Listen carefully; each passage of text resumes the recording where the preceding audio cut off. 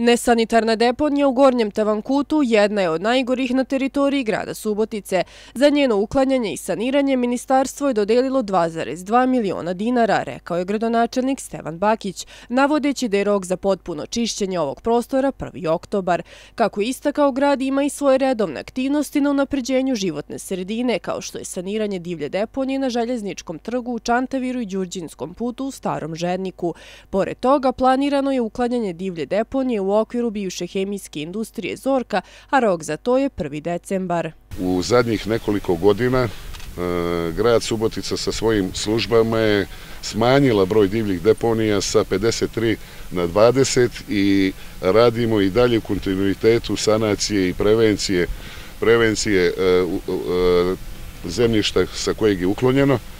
Divlja deponija, ali će to biti sve uzelud ukoliko ne dođe do buđenja savesti naših građana po pitanju formiranja tih divljih deponija. Zato bih i sada uputio apel svim našim građanima da zaštitimo uklon, e, teritoriju sa kojih je uklonjena divlja deponija i da sprečimo formiranje novih. Površina prostora za čišćenje obuhvata 950 metara kvadratnih, procenjena zapremljena otpada je 700 kubnih metara, a broj tura za odvoženje otpada kamionima iznosi 107, rekao je direktor javno-komunalnog preduzeća Čistoće i zelenilo Slobodan Milošev.